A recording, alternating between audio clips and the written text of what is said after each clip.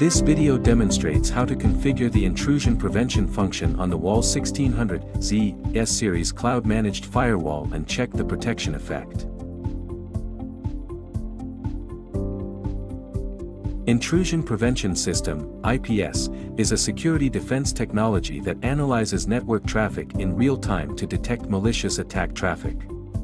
Upon identifying such traffic, it promptly generates alarms or blocks the traffic to protect the intranet.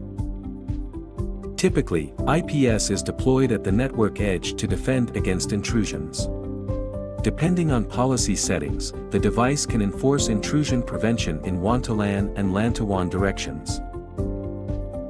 Now, let's delve into the working principles of intrusion prevention. The firewall provides an IPS signature library that contains over 5,000 security rules. A security rule defines the characteristics of intrusion behaviors.